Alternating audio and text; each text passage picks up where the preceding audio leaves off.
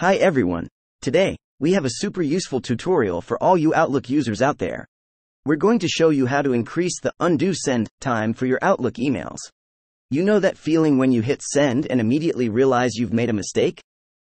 Well, this trick will give you a bit more time to save yourself from those email blunders. So, let's dive right in. First things first, make sure you have Outlook open on your computer. If you don't have it already, you can download and install it from the Microsoft Office website.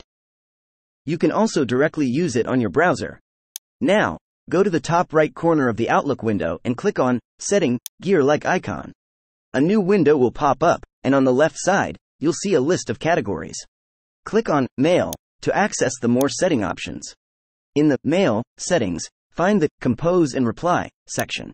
Scroll down until you see an option called Undo Send. To extend this time, simply push it towards the right side. Choose the one that suits you best.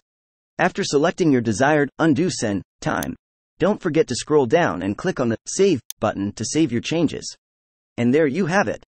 You've successfully increased the undo send time for your Outlook emails, giving you a bit more breathing room to catch any errors or changes you need to make before your email goes out to the recipient.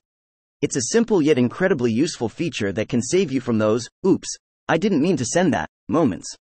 If you found this tutorial helpful, please give it a thumbs up and subscribe to our channel for more useful tech tips like this one. Thanks for watching, and we'll see you in the next video.